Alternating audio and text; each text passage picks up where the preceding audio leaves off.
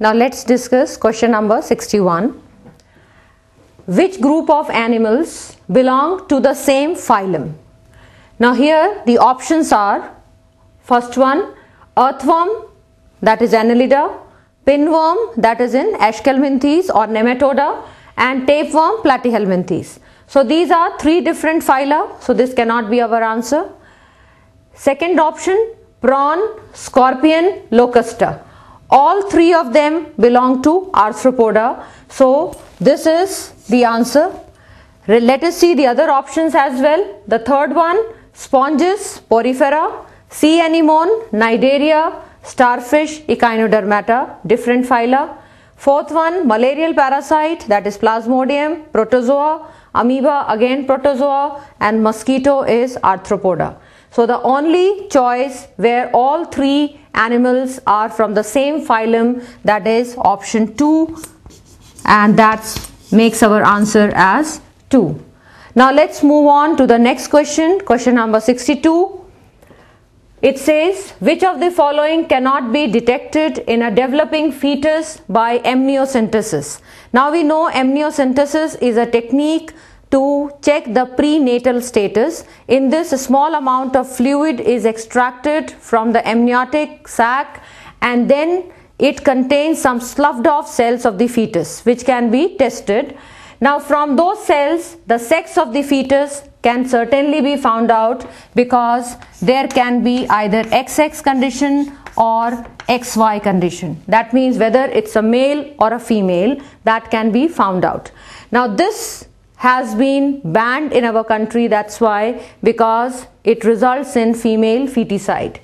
Down syndrome is trisomy of 21 that means the 21st chromosome is having three copies.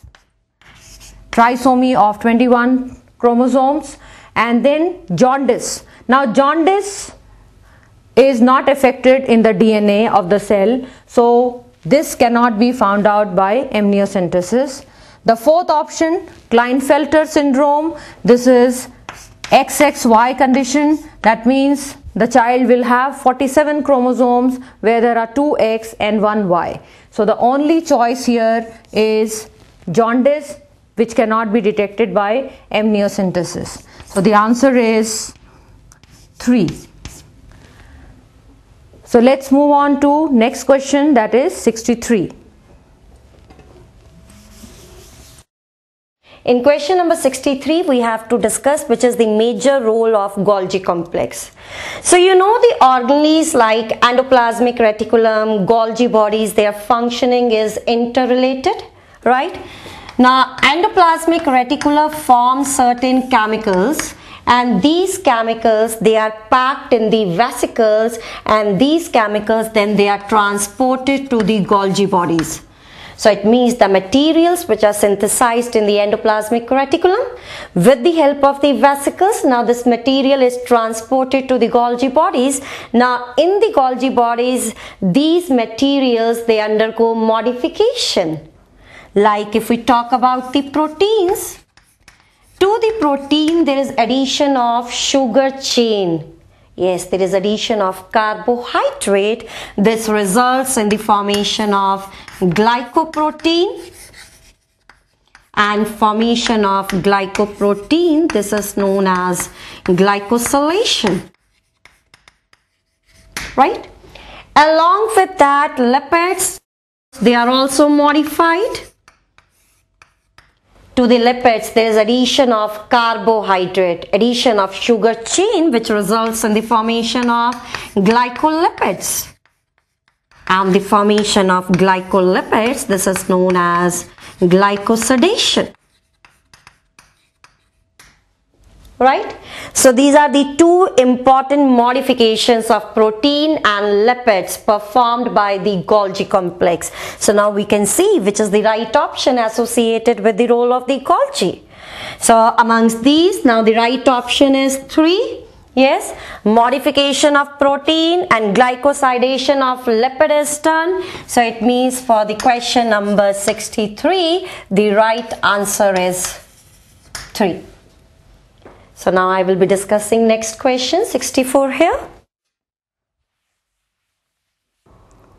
Now let's discuss question number 64.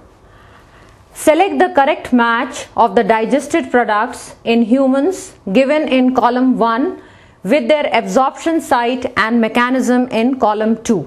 Now here these two columns are given in which we have some of the end products of digestion and in column 2 we have the site of absorption and the mechanism. Now in this first one fructose and Na ions absorbed in the small intestine by passive absorption. Now in this case the absorption of fructose is facilitated transport requiring sodium ions. So this one doesn't fit the description. The second choice glycerol and fatty acids absorbed in the duodenum and move as chylomicrons.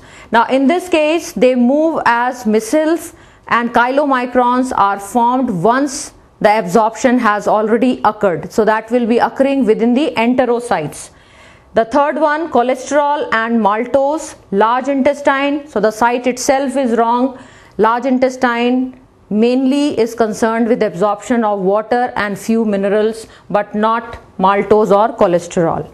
And then fourth choice, glycine, that is an amino acid and glucose absorbed in the small intestine by active absorption. This is the correct choice because these are two very important molecules which are absorbed even by expenditure of ATPs.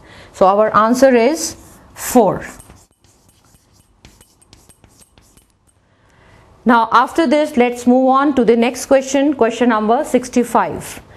Now this question says menstrual flow occurs due to the lack of now in this case the options are these various hormones mentioned over here. Now in this case first of all menstrual flow occurs when the endometrium sloughs off and endometrium is maintained by progesterone. And as soon as the corpus luteum regresses and the level of progesterone declines the endometrium can no longer be maintained and it starts sloughing off leading to the menstrual bleeding. So here our answer out of these four hormones mentioned that is FSH oxytocin vasopressin and progesterone the answer is progesterone. So it is option number 4 as our answer Let's move on to question number 66.